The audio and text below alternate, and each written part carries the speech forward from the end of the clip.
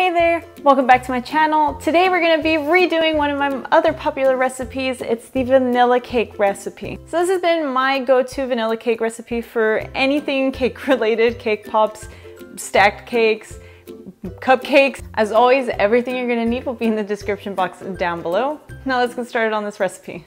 The ingredients we're gonna need is six ounces of butter, one and a half cups of sugar, three eggs at room temperature, two and a half teaspoons of baking powder, one and a half teaspoons of vanilla extract, half teaspoon of salt, two and a half cups of flour, and one and a quarter cup of milk.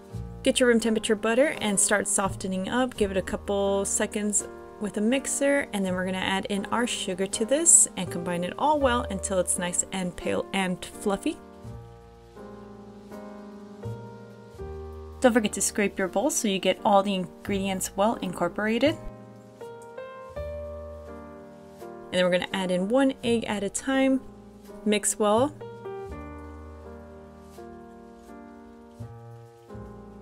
Then we're gonna add in the last two eggs one at a time. Make sure you incorporate it well between each addition.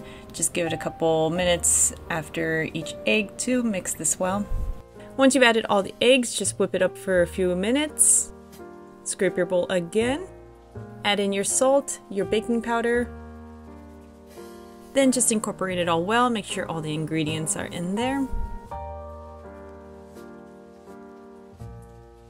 One more scrape, and then we're gonna start adding in our flour and milk.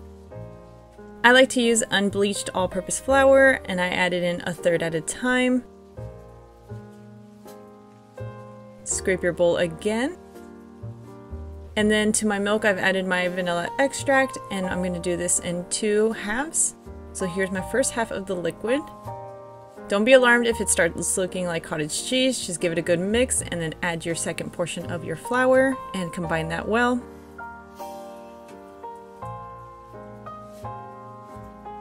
Again, don't forget to scrape the bowl. Then we're to add that last portion of milk and mix it all well. And finally that last bit of flour and combine everything well. I've also gotten asked what kind of butter I use. I like to use unsalted butter and make sure your butter, milk, and eggs are all at room temperature.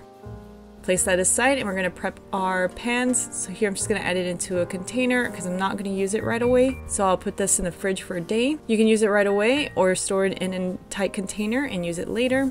Here I'm just gonna grease my pans and put my parchment paper. You can also preheat the oven at 350 degrees. Grab whatever pan you're gonna be using and prep that. Here I will be using this 4 inch pan since I will be making mini cakes. This batter is enough to fit up to a 9 inch cake pan or a quarter sheet pan.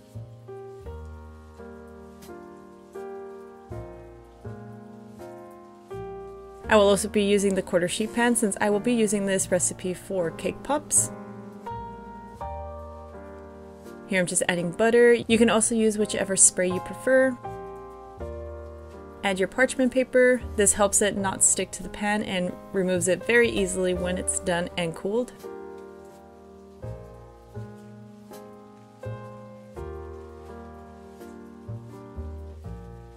Now it's time to scoop our batter. You can always use a scale to weigh how much batter you use. I just like to use ice cream scoops. So scoop it out and then we're gonna bake these for about 25 to 30 minutes. Depending on how big or how thick you're baking, your time will vary. You can always use a toothpick or a skewer right down the middle of the cake to check if it's ready. And I'm going to be using the rest of this batter for a sheet pan. Just spread it out evenly.